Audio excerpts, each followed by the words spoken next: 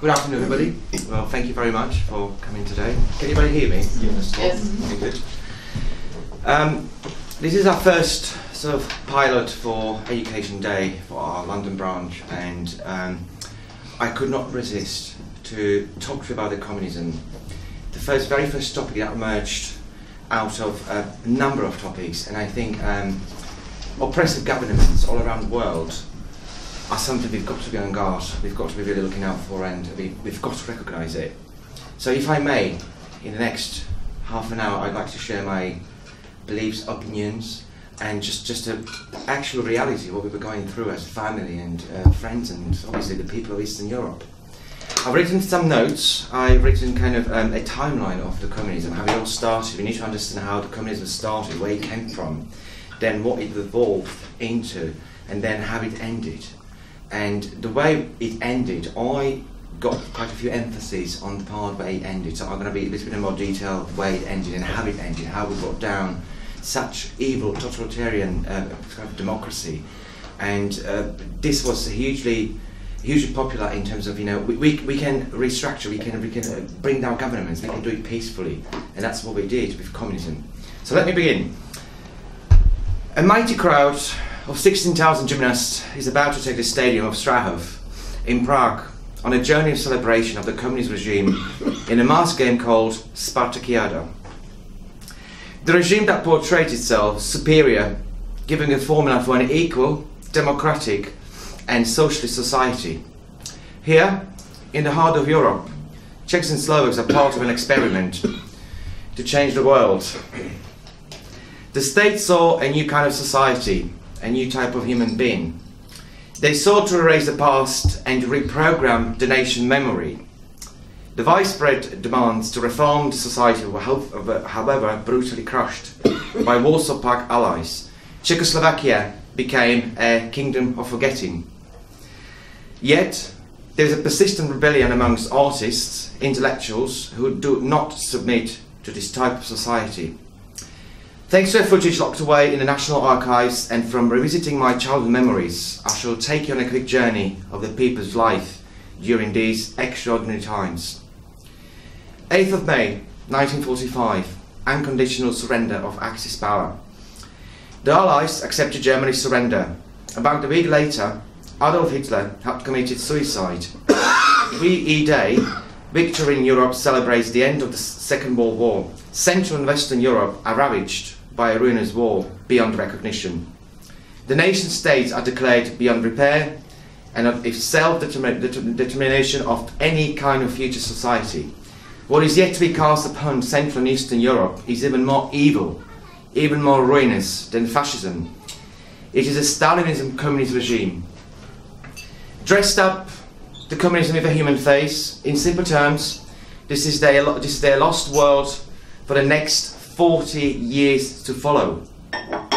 My two late granddads fought in the war. Both came back home. One without his leg, the other, the other one mentally scarred by the horrors of the war. But they both did come back alive.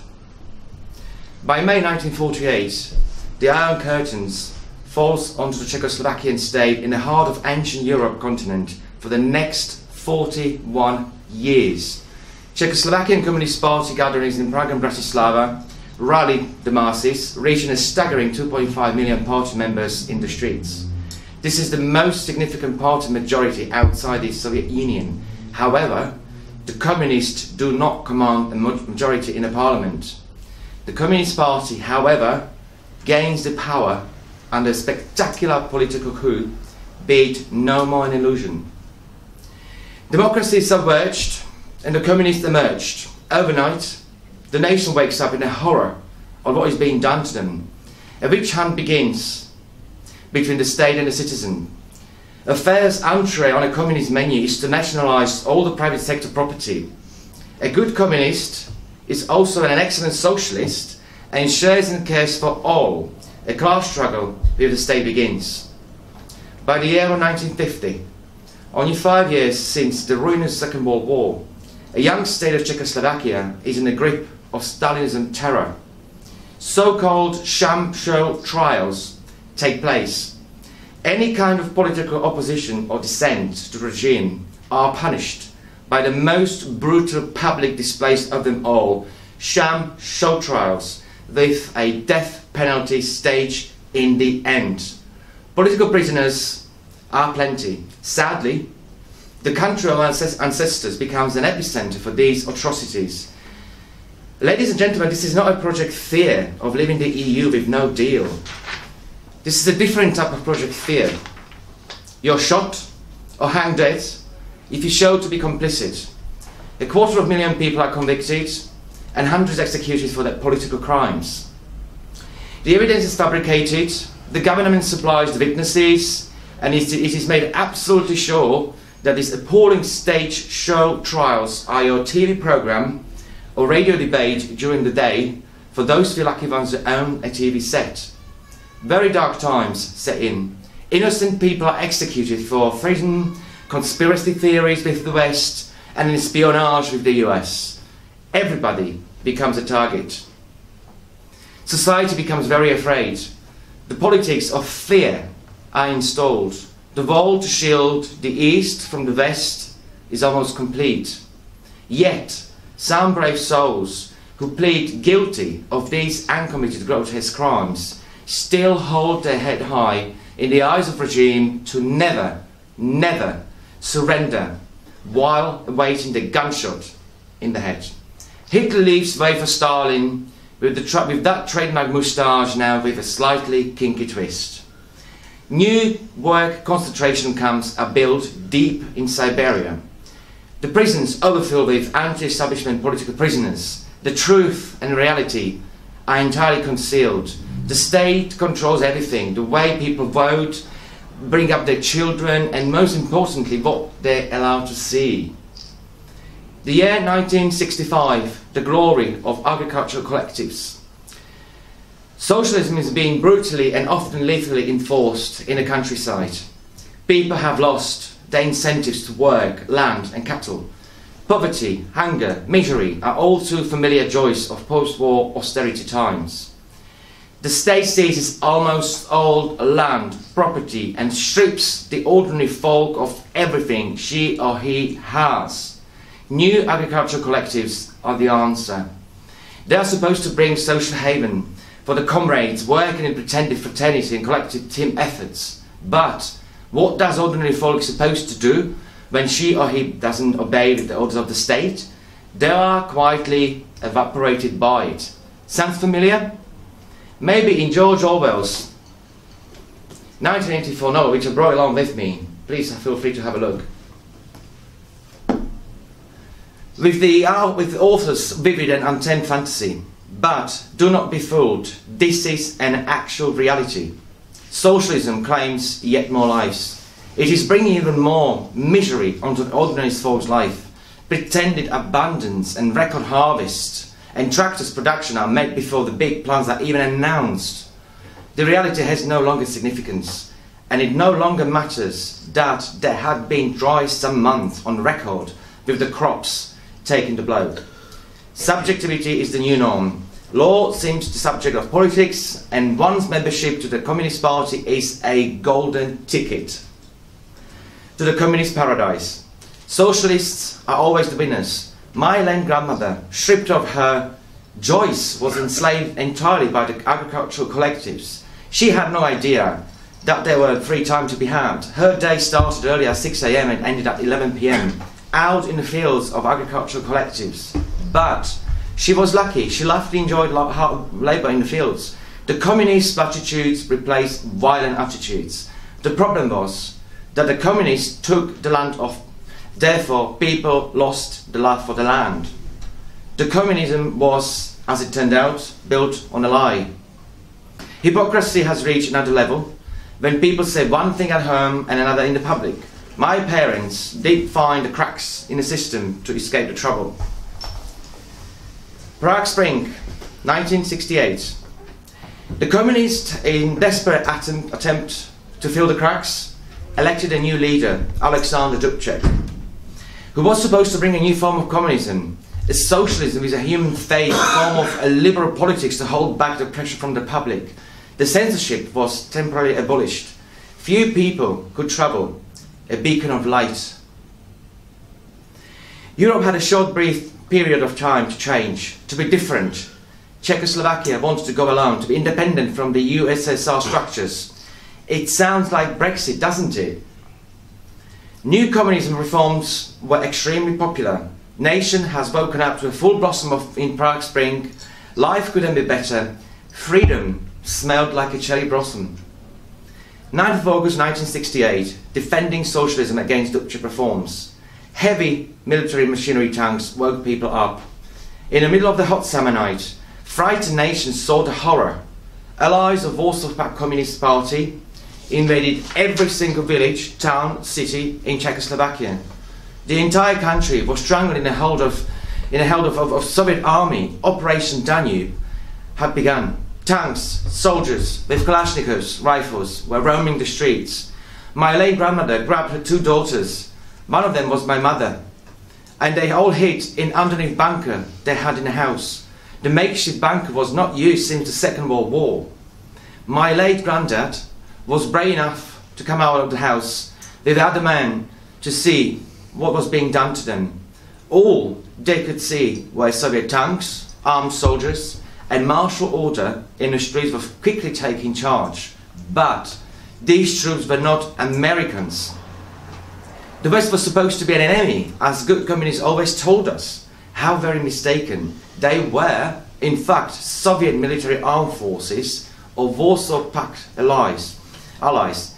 The nation was at its knees in a state of shock. There were, of course, multiple casualties. A peaceful invasion, it was not. The year 1967, normalization.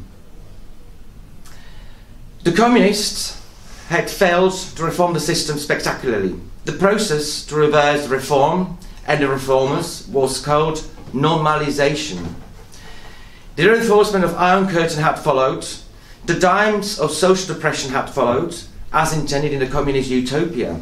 Hardline communists censored all footage, movie, or any traces of unflattering rhetorics or negativity expressed towards the regime. Speaking out got a highest form of punishment or exile for these kind of state political crimes. The era of forgetting was installed by the regime, erasing any traces of negativity against the Soviet regime. State confirmatory replaced belief and reality.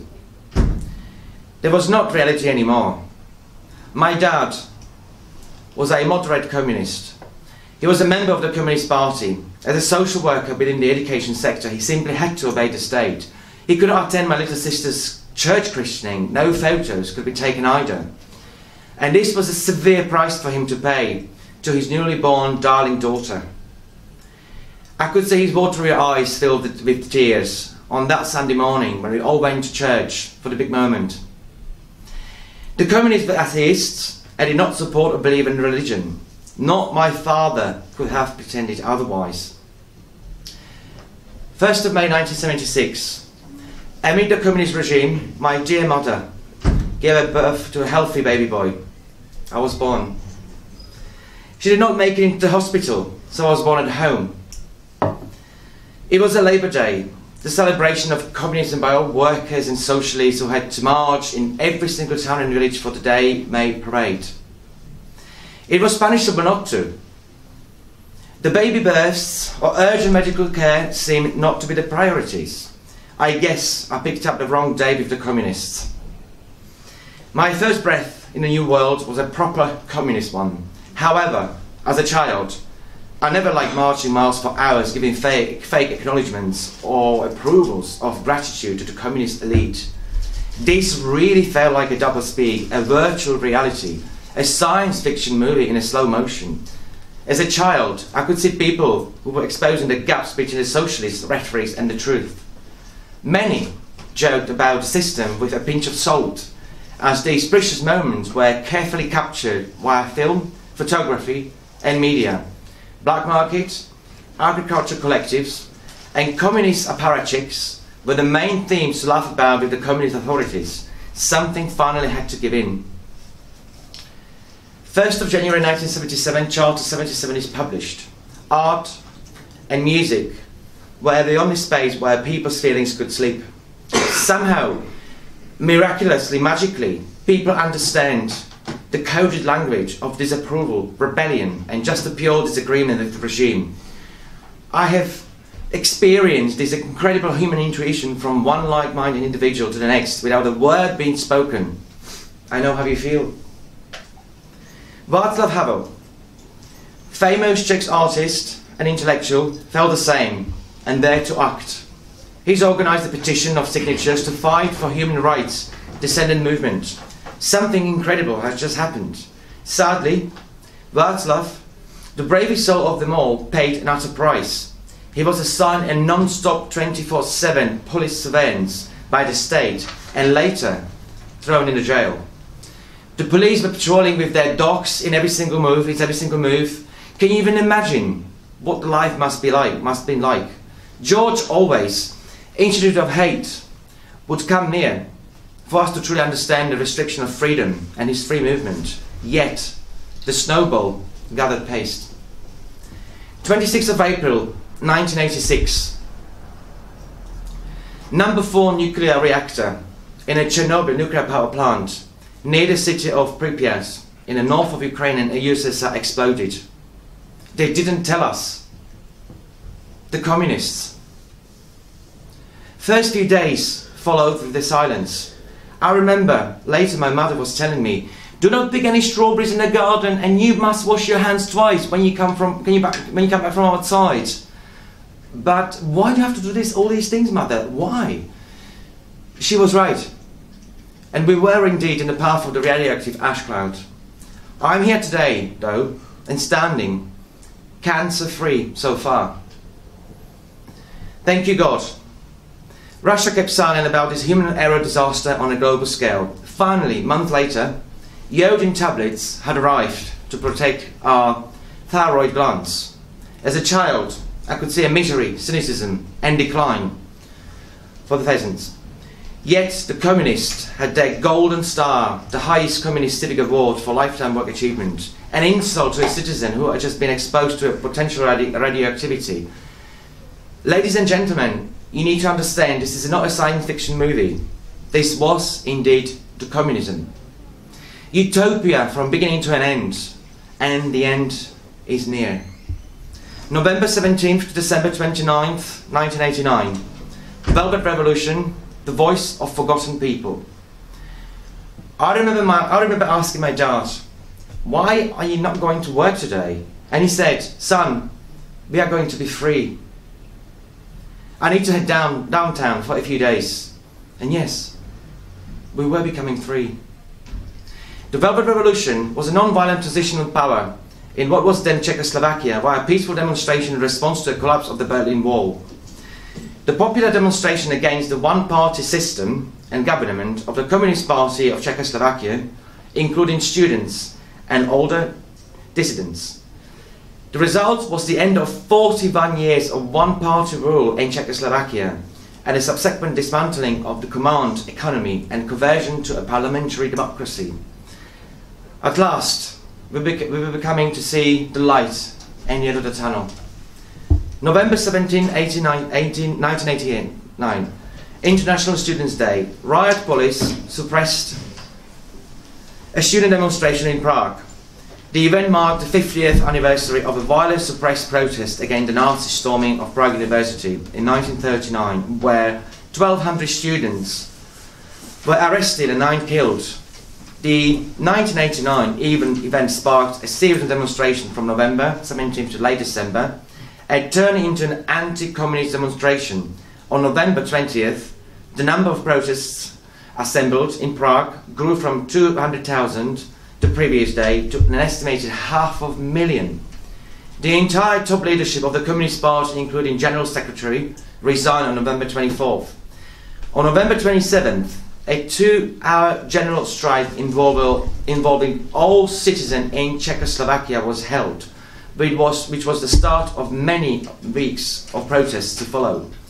In response to the collapse of other Warsaw Pact governments and in the increasing street protests, the Communist Party of Czechoslovakia announced on November the 28th that it would relinquish power and end the one-party state. Two days later, the federal parliament formally deleted a section of the constitution giving the Communist Party a monopoly of power. Barbed wire and other obstructions were removed from the border with West Germany and Austria in early December.